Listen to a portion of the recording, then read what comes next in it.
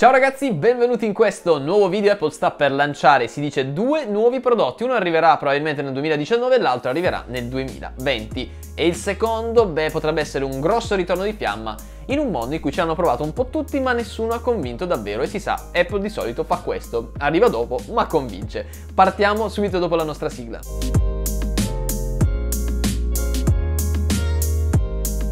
Allora ragazzi, benvenuti in questo nuovo video. Questa volta non vi voglio fare attendere, quindi vi parlerò subito del prodotto che potrebbe arrivare il prossimo anno. Apple ha deciso infatti di riprendere una tipologia di prodotto che non ha convinto, un qualcosa che viene e va nel mondo della tecnologia, sono ormai anni che si parla dei visori per la realtà virtuale o per la realtà aumentata e beh, torna questa indiscrezione secondo cui Apple potrebbe essere al lavoro su un prodotto di questo tipo, fatto bene e che vedrà la luce soltanto nel 2020. In realtà la presentazione di questo prodotto potrebbe avvenire a settembre o a ottobre con il lancio poi nel 2020, ma insomma sembra che Apple stia finalizzando i lavori. La cosa interessante è che su questo prodotto non è trappellato ancora assolutamente nulla, quindi oltre a queste informazioni non abbiamo visto dei leak veri e propri come succede magari con gli iPhone, con gli iPad, con gli Apple Watch, ma si sa soltanto che Apple potrebbe essere al lavoro. Questo dispositivo chiaramente sarà un visore, quindi immaginate come sarà nelle sue forme, dove si metterà, chiaramente si metterà in testa e avrà più o meno l'aspetto di tutti gli altri visori, ma secondo quanto riporta l'analista solito Ming Chi Kuo,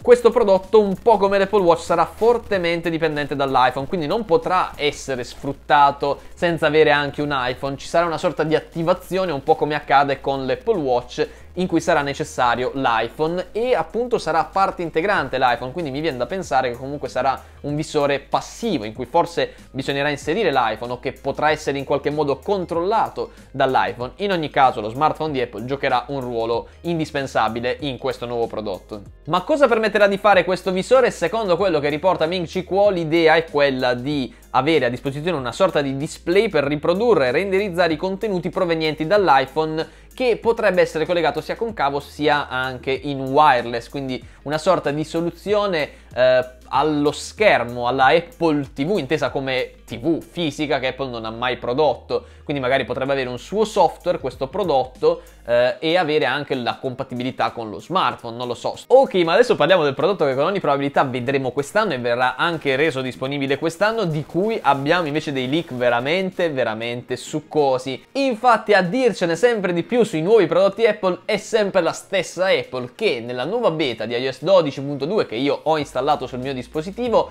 si è fatta scappare un'indiscrezione davvero davvero molto interessante sul prossimo iPod Touch di settima generazione. Non è un segreto che Apple stia lavorando a un prodotto di questo tipo, ve ne ho parlato più volte, ma adesso iOS 12.2 sembra confermare l'esistenza di un prodotto che da quello che si legge proprio dal sistema viene indicato come un iPod. Infatti guardate questa immagine qui, sulla sinistra vedete il vecchio iPod Touch e infatti viene scritto HLS iPod. Sulla destra invece c'è sempre HLS iPod 2 e l'icona è totalmente diversa, completamente priva di cornici. Se mi seguite da un po' ricorderete che questa cosa è avvenuta intanto con il primo iPhone X fu trovata direttamente nelle impostazioni di Xcode, che è il programma che permette di sviluppare le app da poi diffondere su App Store, fu trovata un'icona dell'iPhone X con la tacca. E la stessa cosa poi è accaduta con l'iPad, fu trovata l'icona dell'iPad soltanto con le cornici simmetriche. Beh, da quello che si vede, il prossimo iPod Touch potrebbe avere esattamente lo stesso design del nuovo iPad Pro con delle cornici totalmente ridotte, senza tacca e chiaramente senza tasto home, quindi un prodotto pronto per il 2019 con tutti i canoni estetici e funzionali che ormai sono previsti.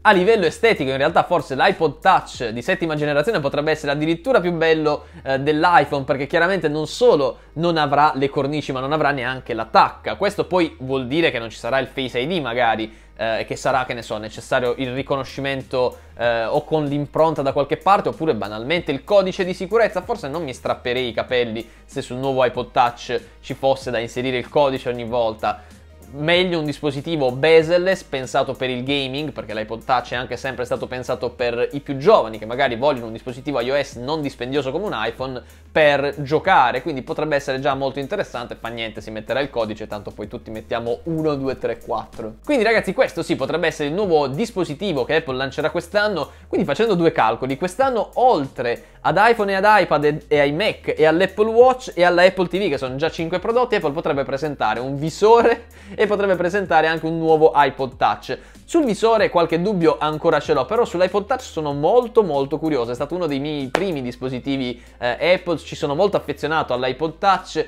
e diciamo che l'iPod Touch di sesta generazione è lì veramente da anni, quindi ci sta, ci sta assolutamente un aggiornamento e speriamo che arrivi un bel prodottino interessante che sicuramente poi vi vorrò portare qui con una recensione e con degli approfondimenti perché secondo me sarà veramente un gioiellino e ormai sembra confermato, ci sarà un nuovo iPod Touch. Ma allora, se anche voi state aspettando un iPod Touch di settima generazione come ve l'ho descritto, lasciate un bel like a questo video e per nuovi video come questo iscrivetevi al nostro canale, seguiteci su tutti i social network che trovate linkati qui sotto in descrizione e in descrizione trovate trovate anche il sito internet da cui io recupero tutte queste informazioni di cui vi parlo in video, cioè iPhoneitalia.com, il nostro sito internet, linkato qui sotto in descrizione. Se poi volete seguire me su Instagram, allora lo username è come al solito qui alla mia sinistra e noi in ogni caso ci risentiamo molto presto con un nuovo video. Ciao a tutti da Andrea Cervone per iPhoneitalia.com.